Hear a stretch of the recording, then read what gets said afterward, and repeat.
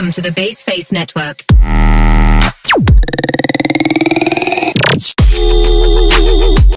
Assalamualaikum warahmatullahi wabarakatuh. Perkenalkan nama saya Dinda Barokah Putri Sasabila dengan NPM A1020004.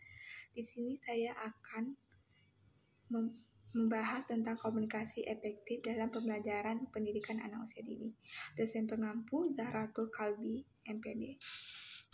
Memaparkan materi saya yaitu strategi komunikasi efektif dalam pembelajaran anak usia dini yaitu pembelajaran pada anak usia dini memerlukan strategi komunikasi efektif untuk mencapai tujuan pembelajaran komunikasi yang akan mendengar atau mempengaruhi perkembangan kognitif pada anak usia dini dan sosial pada anak.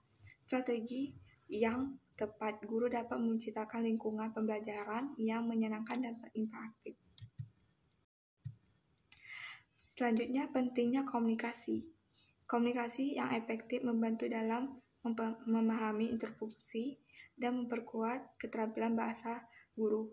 Perlu menggunakan bahasa yang sederhana dan jelas, memberi umpan balik positif untuk memperhiasi anak, kosakata dan bahasa tubuh yang juga berperan pada pentingnya membangun hubungan yang baik pada anak.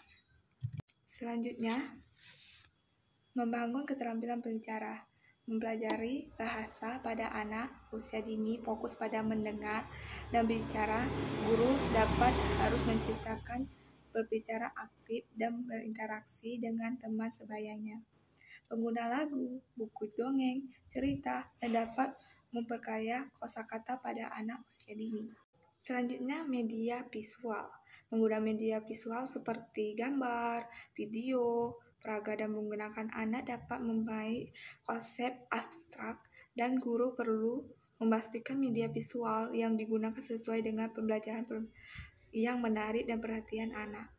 Menggunakan media visual dapat meningkatkan motivasi belajar pada anak. Kolaboratif dapat meningkatkan keterampilan sosial anak. Guru menciptakan kesempatan bagi anak untuk kolaborasi dalam kegiatan pembelajaran melalui bermain bersama dan Anda dapat berbagi ide dan menyelesaikan masalah bersama. Mengelola konflik pada tahap perkembangan ini dapat mengalami konflik antara teman sebaya, guru dapat membantu anak dalam memahami perasaan dan mengolah konflik secara positif. Dengan demikian, akan anak belajar berkomunikasi dan berinteraksi secara sehat. Selanjutnya, pengguna cerita.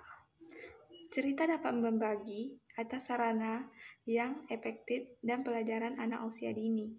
Guru dapat menggunakan cerita untuk menggunakan atau mengajarkan nilai-nilai moral, mengembangkan imajinasi, dan menumbuhkan minat membaca melalui cerita. Anak dapat belajar untuk berempati dan memahami berbagai situasi. Selanjutnya, menumbuh rasa percaya diri. Komunikasi efektif yang positif, umpan balik, dan interaksi dapat membantu anak membangun rasa percaya diri. Guru dapat memberi pengakuan atas pencapaian anak dan memberi dukungan dalam interaksi tantangan. Dengan demikian, anak akan ber, merasa bernilai dan percaya diri dalam belajar. Mengembang kreatif atau kreativitas. Pembelajaran anak usia dini memerlukan perhatian perkembangan ke kreatif, yaitu guru dapat menggunakan kegiatan seni, permainan kreatif untuk membantu anak menginspirasikan ide-ide mereka. Dengan demikian, anak dapat belajar untuk kritis dan menyelesaikan masalah secara aktif. Kesimpulan strategi komunikasi efektif dalam pembelajaran anak usia dini memahami atau memain peran penting dalam membentuk fondasi perkembangan pada anak dengan menggunakan bahasa sederhana, media visual, dan kolaborasi.